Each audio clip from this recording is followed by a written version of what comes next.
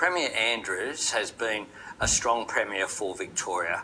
It's Australia's fastest growing state. They've had the strongest growth, strongest employment growth, major infrastructure programs, major social and economic reform, as well as environmental policies. And uh, it, it, he's right to be uh, disturbed that anything is a distraction from the Victorian Labor government's strong record.